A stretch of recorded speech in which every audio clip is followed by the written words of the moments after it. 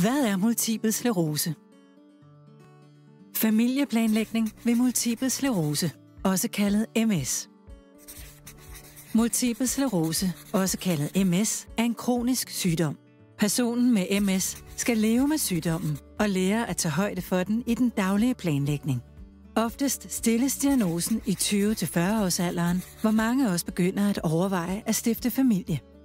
Som kvinde er det betryggende at vide, at man godt kan få børn, selvom man har en MS-diagnose, og at man ikke har sværere ved at blive gravid end jævnaldrende, der lever uden MS.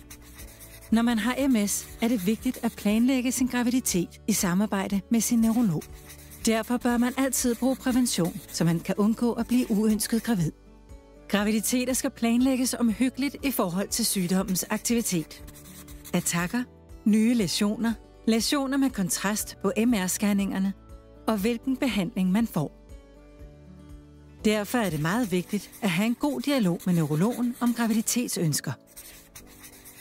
Det er vigtigt at få styr på sygdommen, inden du begynder at planlægge at blive gravid. Det er nemmest at blive gravid, hvis du er under ca. 35 år. Ellers er det også muligt at få hjælp til at blive gravid i form af fertilitetsbehandling. Din neurolog kan fortælle dig, om din behandling skal stoppes et stykke tid, før du planlægger at blive gravid, for at undgå eventuelle risici for fosteret. Til sidst, husk din prævention.